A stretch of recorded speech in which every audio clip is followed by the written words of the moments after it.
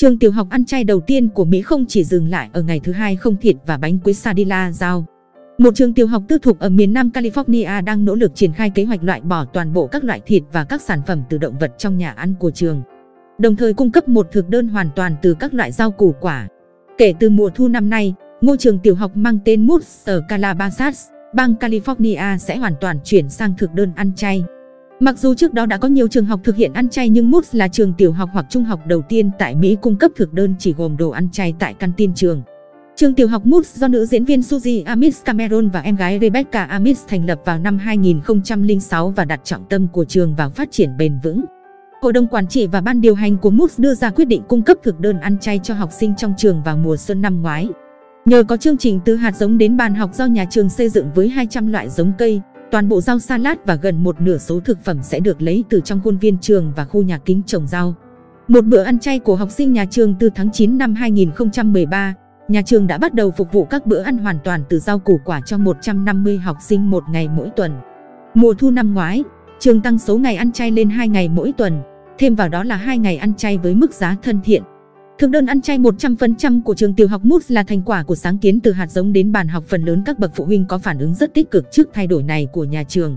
Hiệu trường nhà trường Zepkin trong một tuyên bố đã nói, cách chúng tôi ăn là con đường đơn giản nhất và có tác động mạnh mẽ nhất để có thể thay đổi dấu chân carbon của chúng tôi với tư cách là một trường học.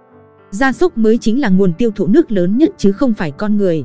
Để thực sự thực hiện được sứ mệnh của chúng tôi về một sự phát triển bền vững, chúng tôi phải tìm ra một cách ăn uống bền vững. Câu trả lời của chúng tôi là xây dựng chương trình một bữa ăn mỗi ngày cho hành tinh bữa trưa và bữa ăn nhẹ chay cho học sinh trong trường. Các chuyên gia dinh dưỡng trả lời phỏng vấn trang The Huffington Post đã hoan nghênh hành động này của nhà trường.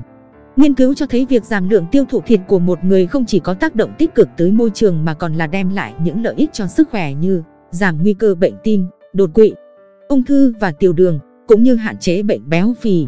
Theo giáo sư Marion Nestle của Đại học New York, một chế độ ăn chay là phù hợp với khuyến cáo của Y tế Thế giới về việc nên ăn chủ yếu trái cây, rau và ngũ cốc. Tuy nhiên, chế độ ăn uống lành mạnh cần phải cung cấp được nhiều lựa chọn khác nhau. Nestle cho biết thêm, thực đơn cũng cần phải đa dạng và cung cấp đủ calo và protein. Tại trường tiểu học moose, học sinh chỉ ăn một bữa trong ngày. Do đó, nhà trường rất cẩn trọng trong việc xây dựng thực đơn để đảm bảo các bữa ăn vẫn đầy đủ chất dinh dưỡng. Theo giảng viên khoa y tại trường đại học Yale, ông David Katz, Nghiên cứu ban đầu cho thấy có một mối liên hệ giữa chế độ ăn uống lành mạnh và tập luyện thể dục thể thao với việc hành vi và kết quả học tập của học sinh được cải thiện. Đó là minh chứng cho những nỗ lực của trường tiểu học Moose có thể đem lại những lợi ích không chỉ về mặt sức khỏe cho học sinh trong trường. Mầm ngô được trồng tại trường.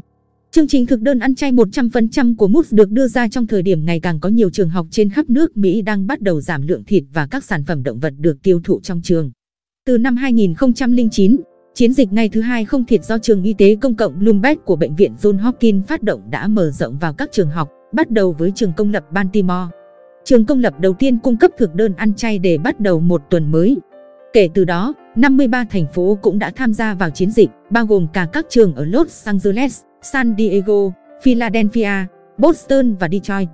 Chiến dịch ngày thứ hai không thịt không nhằm mục đích chỉ vận động học sinh, sinh viên ăn chay hoặc thuần chay mà thay vào đó, Mục tiêu của chiến dịch là để mọi người đa dạng hóa chế độ ăn của mình và thêm vào nhiều bữa ăn thực vật hơn. Phát ngôn viên Diana Rice nhấn mạnh rằng trẻ em là lứa tuổi đặc biệt quan trọng bởi thói quen ăn uống của chúng dễ thay đổi hơn so với người lớn. Bà Rice cũng cho biết, đây là chương trình mọi người đều có thể tham gia mà không cảm thấy họ phải thay đổi chế độ ăn hoàn toàn. Nó dạy mọi người từ khi còn nhỏ rằng thức ăn cứng không nhất thiết là phải có thịt. Quách Yến, theo Huffington Post,